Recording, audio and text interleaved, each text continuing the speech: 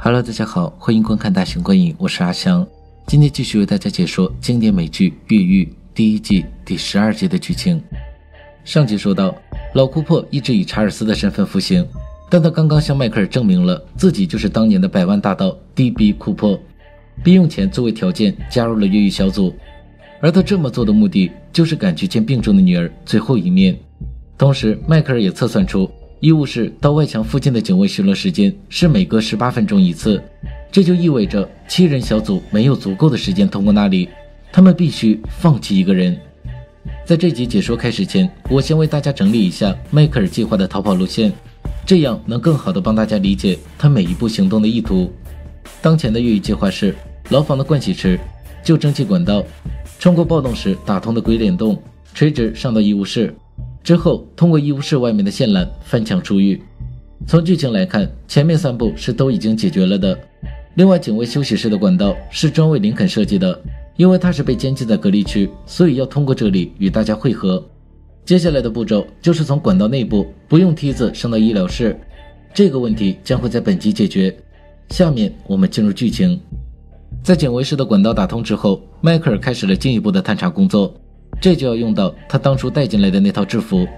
他取下衣服上的扣子，丢进管道，根据回声判断高度，然后他顺着管道滑到了通道底部，那里是一个蓄水池，底部距离休息室的井盖有二十英尺的高度。他必须想办法将绳子带到地面。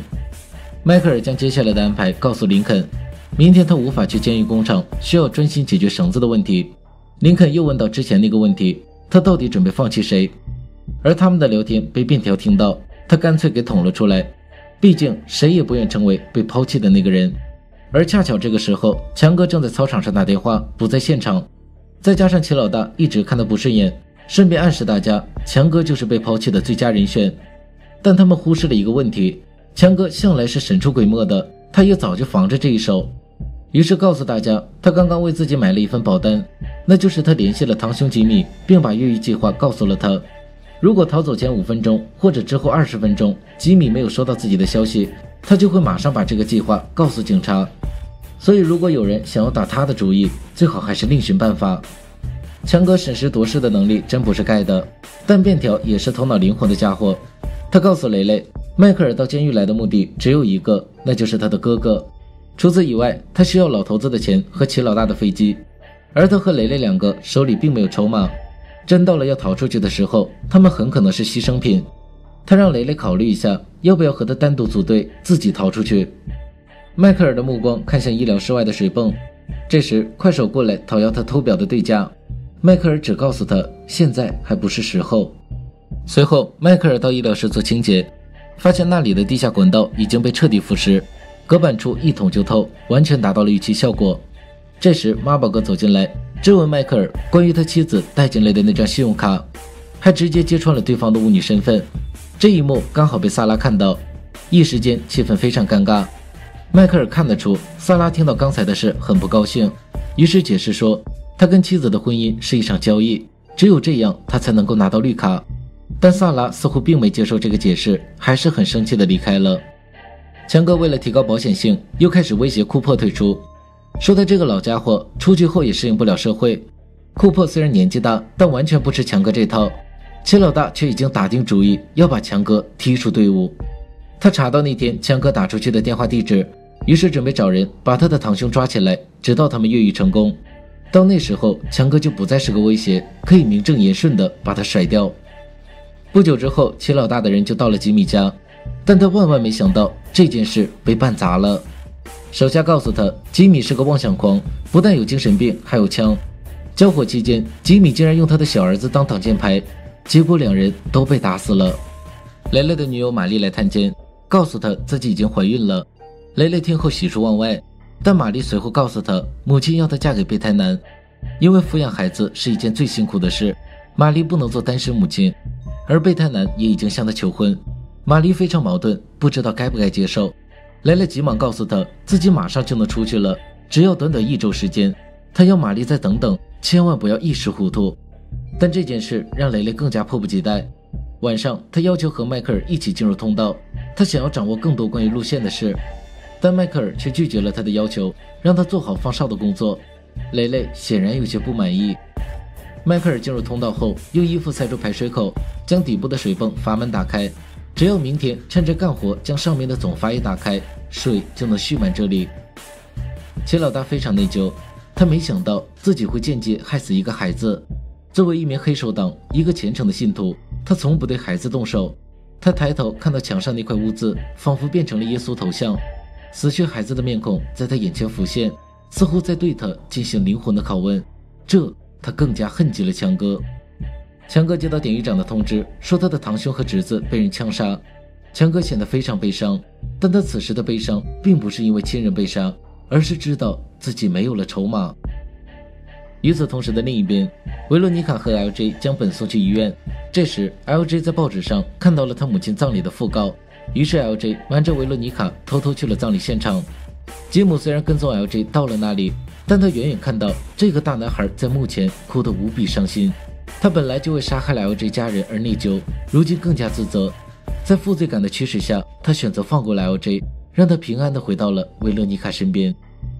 迈克尔趁着外出干活，打开了蓄水阀，水迅速灌进蓄水池，只需要两分多钟就能灌满整个池子。在库珀的掩护下，迈克尔顺利挺过了这段时间，然后迅速关上阀门，回到牢房准备下一步。雷雷正在牢房里忙着给孩子起名字，他又忍不住询问迈克尔的具体安排。迈克尔并不想对他透露太多，毕竟一旦出了事，知道的越多就越危险。蕾蕾却觉得迈克尔是对他不信任，才会遮遮掩掩。再加上便条之前的忽悠，蕾蕾对迈克尔的情绪更大了。这期间，妈宝哥也没闲着，继续不遗余力地深挖迈克尔。听老秃说，他最近丢了块金表，正是属于迈克尔的。妈宝哥又警觉起来，他猜到这事儿和快手脱不了干系，毕竟他是这里最有名的小偷。妈宝哥告诉快手，盗窃狱警的东西罪名可不小，起码加个几年刑期。当然，他也有另一条路可选，不被追究盗窃的责任，还可以在值班时吃个汉堡。条件就是要帮妈宝哥弄清楚迈克尔到底要干什么。在妈宝哥眼里，一个干捞汉堡就足以让这帮罪犯当二五仔了。迈克尔来到通道，脱掉衣服跳进蓄水池，然后从底部拿出一早准备好的绳子，浮到水面，顺着休息室的出水口上去，将绳子的一端绑到井盖上，再将绑着衣服的另一端拉出来，这样水就能迅速从排水口流出去。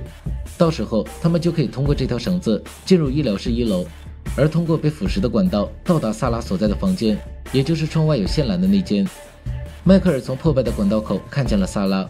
他知道准备工作已经就绪了。齐老大的人私下里抓了强哥，痛揍一顿后绑了起来。齐老大要求所有人出去单独和这个家伙谈谈。说完，他拿出藏在手腕处的短刀，准备结果了强哥。齐老大说：“为了那些被他残害的孩子们，这是他应得的报应。”强哥狡辩说：“吉米的事根本是齐老大的错，还有他的小儿子也是他造成的。他央求齐老大放过自己，让他做什么都行。”强哥从来都能为了活命反复横跳，齐老大趁机提出要他退出越狱小组，并逼他向上帝发誓。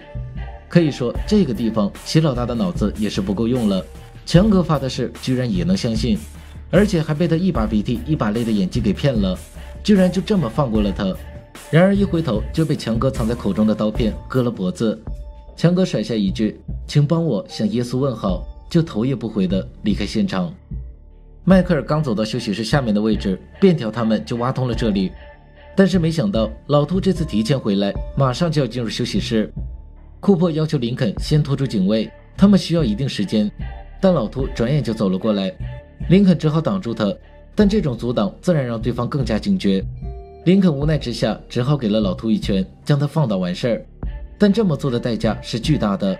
作为一个死刑犯，袭击狱警绝对会被关禁闭。所以在迈克尔爬出通道时，队友们遗憾地告诉他，他碰上了大麻烦。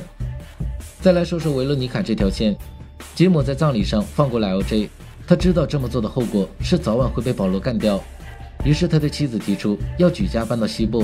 在临走前，他想要将事情的真相告诉维罗妮卡，于是给他打电话，约在肯尼迪广场面谈。以上就是《越狱》第一季第十二集的内容。目前的形势是，虽然越狱路线已经打通。但营救的主角林肯却被关了禁闭，而且齐老大也危在旦夕。迈克尔和队友们该如何扭转这个形势，创造生机？其他人物角色还会有什么转折？请密切关注下面的剧情讲解。感谢大家的收看，我们下期再见。